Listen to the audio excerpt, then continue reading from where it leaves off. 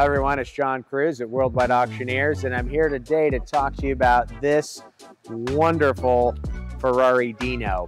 As most of you know, the Ferrari Dinos are limited production, specifically the GTS version.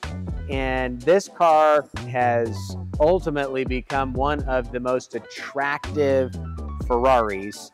And maybe even more importantly than that, people have realized that these are one of the most enjoyable to drive and use. And as most of you know, we love to drive our collector cars and use them. And so that's why the Dino is one of my favorites this year for the Auburn auction. This particular example has been wonderfully restored and it has also had a very recent major mechanical servicing, so it's ready to go use and enjoy right now.